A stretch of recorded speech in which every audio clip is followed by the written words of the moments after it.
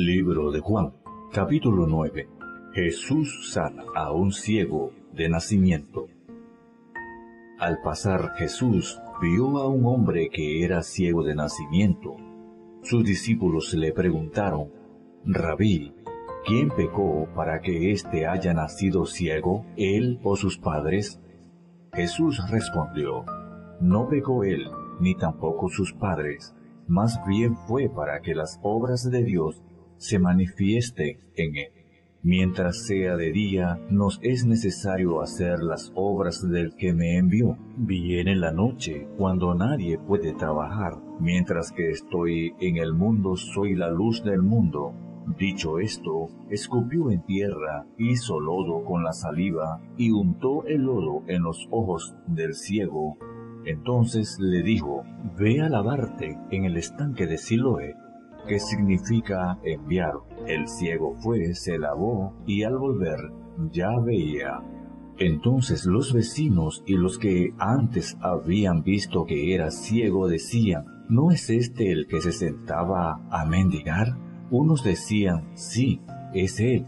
Otros decían, se le parece. Pero él decía, yo soy. Y le dijeron, ¿y cómo es que se te han abierto los ojos? Él les respondió, aquel hombre que se llama Jesús hizo lodo, me lo untó en los ojos y me dijo, ve a Siloé y lávate. Y yo fui y me lavé y recibí la vista. Ellos le dijeron, ¿y dónde está él? Él dijo, no lo sé. El que había sido ciego fue llevado ante los fariseos. Cuando Jesús hizo lodo y le abrió los ojos al ciego era día de reposo. También los fariseos volvieron a preguntarle cómo había recibido la vista, y él les dijo, me puso lodo en los ojos, y yo me lavé y ahora veo. Algunos de los fariseos decían, este hombre no procede de Dios, porque no guarda el día de reposo.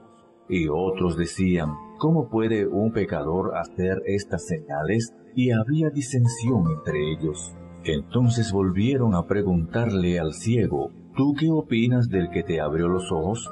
Y él respondió, creo que es un profeta. Pero los judíos no creían que aquel hombre había sido ciego y que había recibido la vista, hasta que llamaron a los padres del que había recibido la vista, y les preguntaron, ¿este es el hijo de ustedes de quien ustedes dicen que nació ciego? ¿Cómo es que ahora ve? Sus padres les respondieron, sabemos que este es nuestro hijo y que nació ciego. Lo que no sabemos es cómo es que ahora ve y tampoco sabemos quién le abrió los ojos. Pero pregúntenle a él, que ya es mayor de edad y puede hablar por sí mismo. Sus padres dijeron esto porque tenían miedo de los judíos, pues estos ya habían acordado expulsar de la sinagoga a quien confesara que Jesús era el Mesías. Por eso dijeron sus padres, ya es mayor de edad, pregúntenle a él. Entonces volvieron a llamar al que había sido ciego y le dijeron, Da gloria a Dios, nosotros sabemos que ese hombre es pecador. Pero él respondió, Si es pecador, no lo sé, lo que sí sé es que yo era ciego y ahora veo. Volvieron a decirle, pero ¿qué te hizo? ¿Cómo te abrió los ojos? Él les respondió, ya se los he dicho y ustedes no escuchan. ¿Por qué quieren oírlo otra vez? ¿También ustedes quieren hacerse discípulos suyos? Ellos lo insultaron y le dijeron, discípulo suyo, lo serás tú, nosotros somos discípulos de Moisés. Nosotros sabemos que Dios le habló a Moisés, pero de ese no sabemos ni de dónde es. El hombre les dijo, pues esto es lo asombroso que ustedes no sepan de dónde es, pero a mí me abrió los ojos. Y sabemos que Dios no escucha a los pecadores, pero que si alguno es temeroso de Dios y hace su voluntad, a ese sí lo escucha.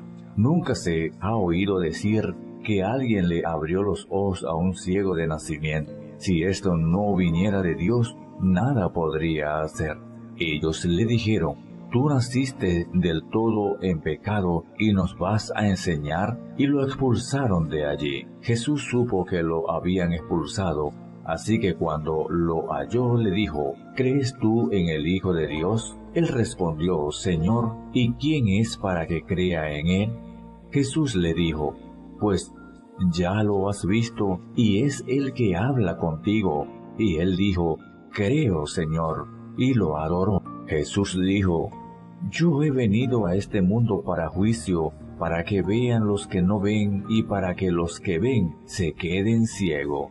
Al oír esto, algunos de los fariseos que estaban con él le preguntaron, ¿acaso también nosotros somos ciegos? Jesús les respondió, si ustedes fueran ciegos, no tendrían pecado, pero ahora como dicen que ven, su pecado permanece.